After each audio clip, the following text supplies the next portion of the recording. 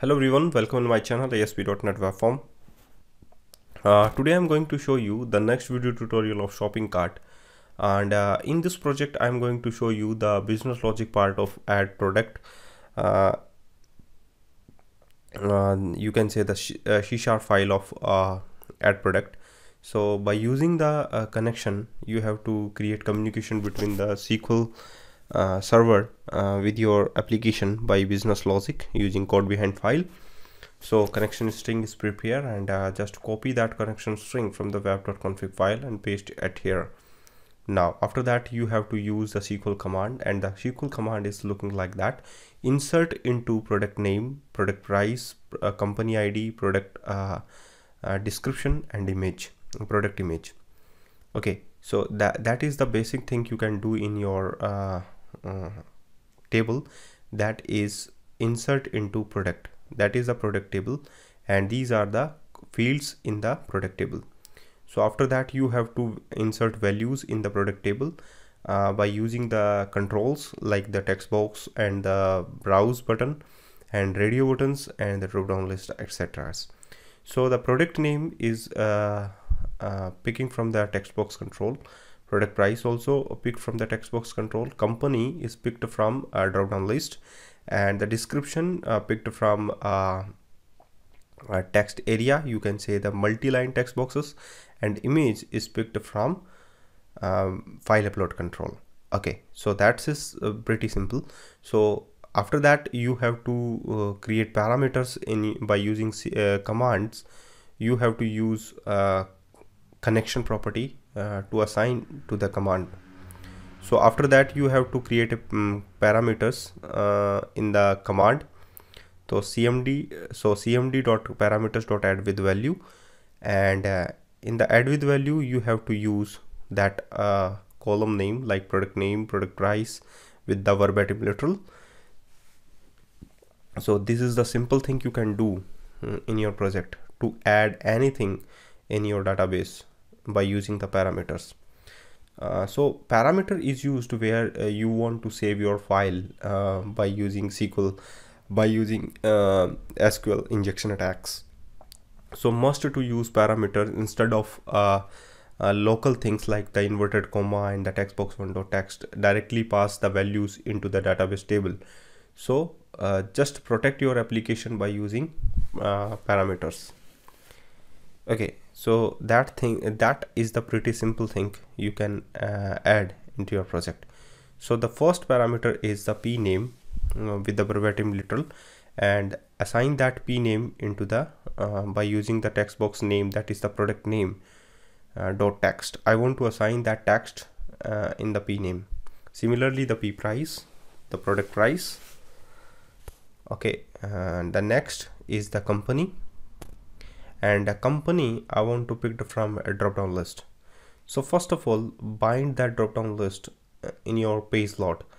If uh, not equals to page dot is post back, then bind your list, uh, bind your drop down list.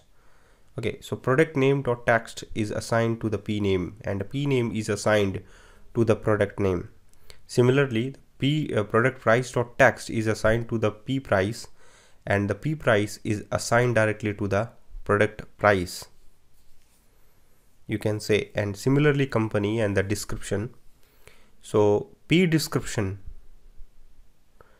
assigned to the product description. So uh, first of all uh, that is the product description.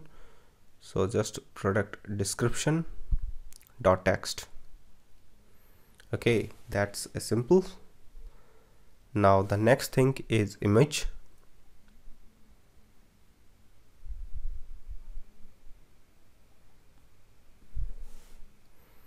image.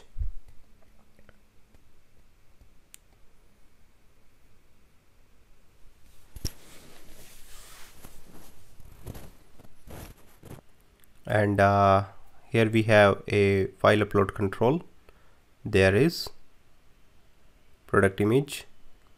And a drop down list is also there with the selected index change but I want to uh, I want to add some uh, company details uh, when your page load so just use not equals to page dot is post back then bind dropdown list. And bind the dropdown list with the SQL connection class. So similar thing you can add in the bind dropdown list also. SQL command is also same. SQL command cmd equals to new SQL command. Command text is use select. And that is the SQL queries.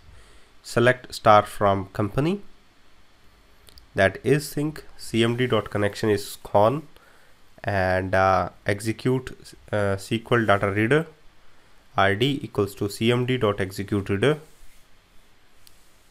okay.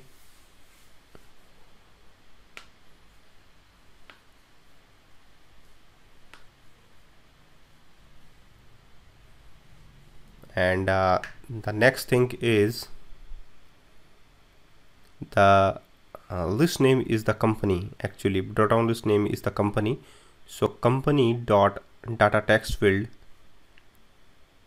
And you can say the data source property first of all assign. After that you have to use company dot data text field and the data value field. Data text field is double quotation company name. And the company dot data value field is company id and you can say id after that you have to bind your dropdown list by using company dot data where your company is the id property of your dropdown list. After that must to close the connections.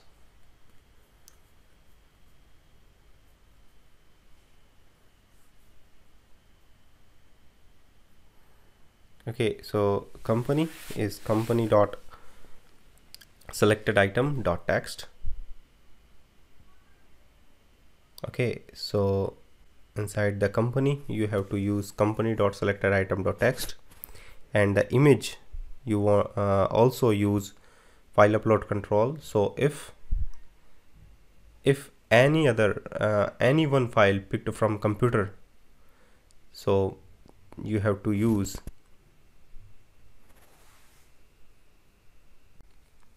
so uh, the image file path is string.empty first of all. And after that use file upload control. So file and uh, the file upload control id property is product image. That is so product image dot has file. If uh, any file picked from computer that return true so product image dot save as that image will be saved into the uh, local directory into your Visual Studio. So first of all create a directory that is image.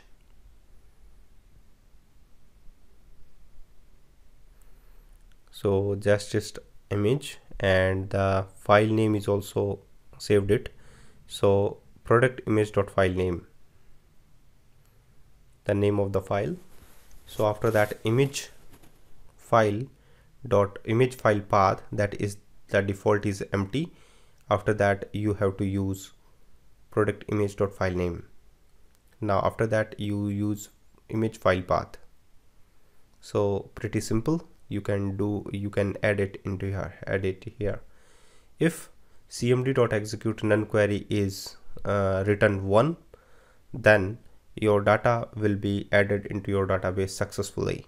Otherwise it's not so thank you guys for watching this video and keep watching all other videos which is related to shopping cart project. And i have to design complete videos and after that i will show you the complete result of that videos.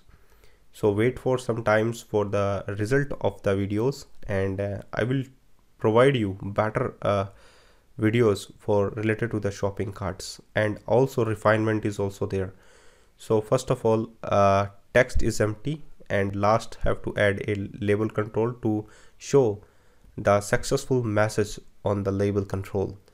So if result is greater than 0 then result label lbl.text is assigned save record successfully. Thank you guys for watching this